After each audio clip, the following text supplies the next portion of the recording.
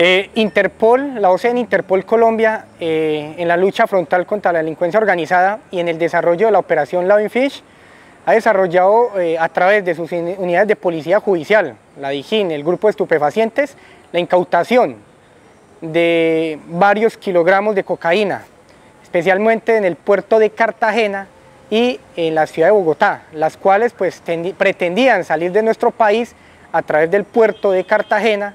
en lo cual en el desarrollo de esta operación se han logrado resultados extraordinarios, como en el que en este momento mostramos la incautación de 110 kilos de clorhidrato de cocaína en un desarrollo operacional del grupo de estupefacientes de la DIJÍN. Interpol ha articulado todos sus, eh, sus grupos, ha articulado todos los esfuerzos con el fin de lograr resultados trascendentales en la lucha frontal contra la delincuencia organizada transnacional.